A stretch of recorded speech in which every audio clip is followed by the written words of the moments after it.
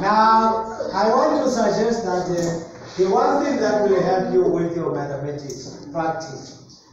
Do what? Practice. Practice. And when you practice it, you will gain more understanding. You will become an expert at it. Practice.